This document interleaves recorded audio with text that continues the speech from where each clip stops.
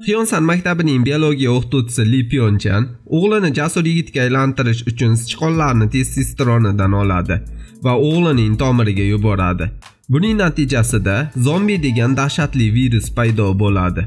Barchaga assalomu alaykum. Bugun biz sizlarning e'tiboringizga Biz o'likmi serialini taqdim etamiz. Maktabning oshxonasiga son-sanoqsiz zombilar hujum qilishadi va yo'lida uchragan odamlarni tishlashni boshlashadi. Chixunsan va Oncho deraza oynasidan qochishga muvaffaq bo'lishadi. Bu vaqtda maktabning o'qituvchilari bo'lgan voqeani muhokama qilishayotgandilar. Ingliz tili o'qituvchisi maylisdan chiqib, zina bo'ylab pastga tushganida zombi bir qizni tishlayotganligini ko'radi va qo'rqib qochib ketadi. Chixunsan bilan Oncho boshqa sinfdoshlar yashinib olgan xonaga berkinib olishadi Xyunsu, Isak va boshqalar ham ushbu xonada edilar. chxunsan bu maxluqlarni zombi ekanligini aytadi. O'sha onda oynadan ularni yoniga Suxyok va sinfning sardori Choynamra ismli qiz ham kelib qo'shiladi. Tasvirlar politsiya mahkamasini ko'rsatadi.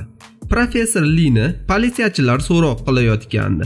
Professor Li sichqon tishlab olgan Hyunju ismli qizni zudlik bilan karantinga olishlari kerakligini aytadi.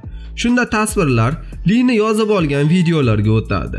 Li sichqon va mushukni o'zaro jangini tomosha qiladi va zaif bo'lsa ham sichqonlardagi testosteron ba'zida dahshatli kuchga aylanishi mumkinligini tajriba o'tkazib ko'radi va yaratgan moddasini o'g'liga yuboradi.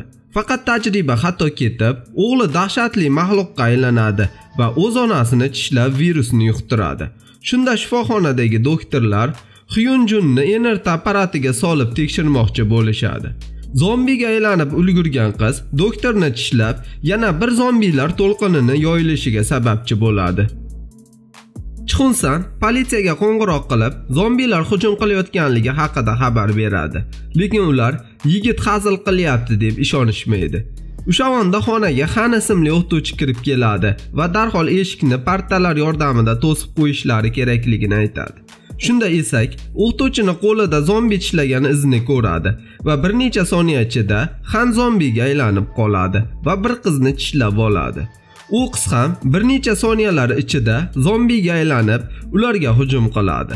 O'quvchilar darhol xonadan chiqib, boshqa xona tomon qocha boshlashadi. Shunda ularni oldidan zombilar chiqib qoladi. suhiyok zombilarni to'xtatib, o'quvchilarni qochirib yuboradi. Hamma omon qolganlar xonaga kirishadi. Shunda Oncho Suxiyok yo'qligini payqaydi. Bu vaqtda maktabning kamonchilar jamoasi musobaqani tugatib orqalariga qaytishadi va atrofdagi zombilarni ko'rib hayron bo'lishadi. Tualet ichida Mijin ismli qiz va uning yonidagi xonada Junson ismli yigit va Halim ismli qiz bor edi. Mijin Halimni zombiga aylanib qolganligini biladi va shvabra sopini sindirib, zombiga aylangan qizni og'ziga tiqadi. lekin zombi o'lmaydi. Shunda kamonchi Janhari ismli qiz kelib, o'qni zombini bo'yniga mixlab qo'yadi. O'sha onda ingliz tili o'qituvchisi Sunxva barcha o'quvchilarga yordam kelmaguncha berkinib olishlari kerakligini mikrofon yordamida aytadi. Bu vaqtda xonadagi o'quvchilardan biri Isakni zombi tishlagandi. Shu sabab qiz maxluqqa aylanadi va onchoga tashlanadi.